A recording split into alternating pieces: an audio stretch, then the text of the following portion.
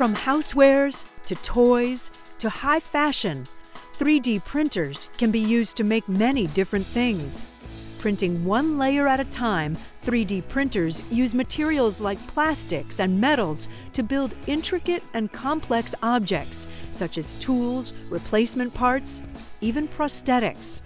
In engineering, this type of construction is referred to as additive manufacturing. In Pittsburgh, one biomedical engineer has even invented a way to 3D print human tissue, an innovation that could one day allow us to print a working human heart. The actual human heart is incredibly complex, and we don't necessarily need to mimic every feature in there. What we're trying to create is a minimum feature set that really uh, recreates the, the core properties of heart muscle tissue.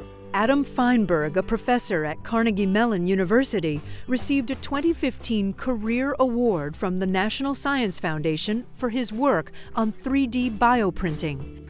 His research touches upon a crucial aspect of innovation how scientists and engineers improve upon the work of others to make things better, faster, and cheaper.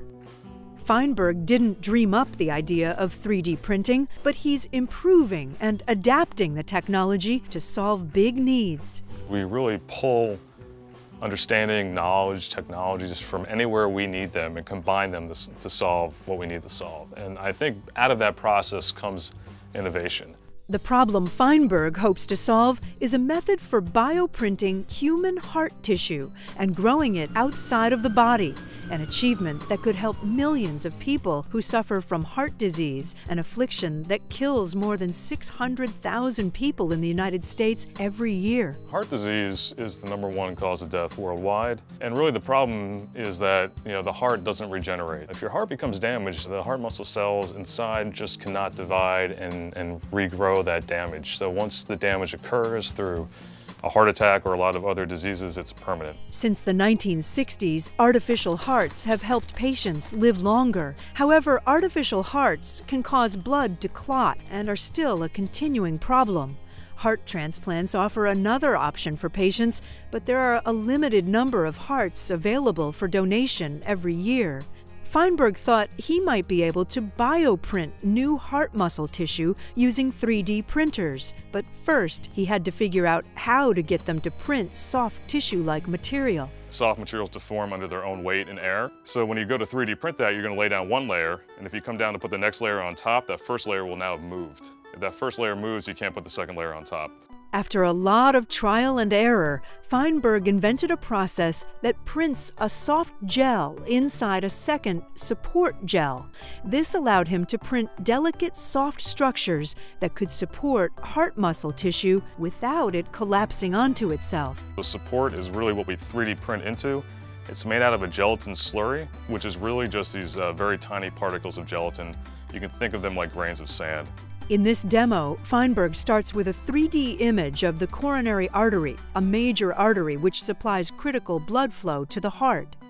Instead of printing with actual heart tissue, he uses alginate, a polymer material derived from algae, which he prints into the support gel.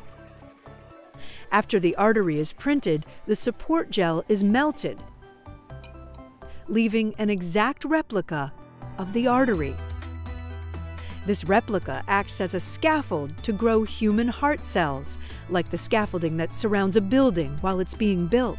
You can either actually print cells in the scaffold during this process, or you can uh, basically coat the scaffold with cells af afterwards. While we're still many years away from bioprinting a full human heart, Feinberg says that within five years he may be able to print heart tissue, a breakthrough that could allow researchers to test drugs on 3D printed heart tissue instead of through costly human trials. We can make uh, human heart muscle in the dish that you can test these drugs on, and the human heart muscle basically has all the uh, unique properties of the actual human heart. Feinberg has seven patents issued by the U.S. Patent and Trademark Office. He hopes that other scientists and engineers will take his innovations and improve upon them even further. The way we look at it is we don't want to hold the technologies in. We patent it essentially so companies will be motivated to take the technology and move it forward. Technology improved by innovation that is only just beginning to make a big impact and could one day save lives.